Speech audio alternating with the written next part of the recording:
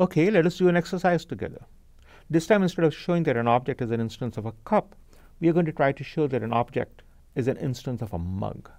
So here is the definition of a mug. A mug is an object that is stable, enables drinking, and protects against heat. Notice that we have added one more element here.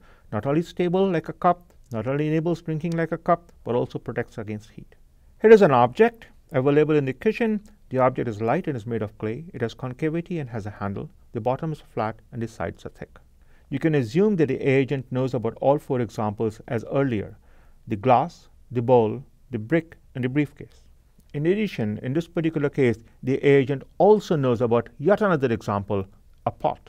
The pot carries liquid because it is concave. It limits heat transfer because it has thick sides and is made of clay.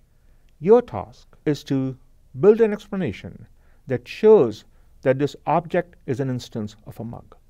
Can we prove this?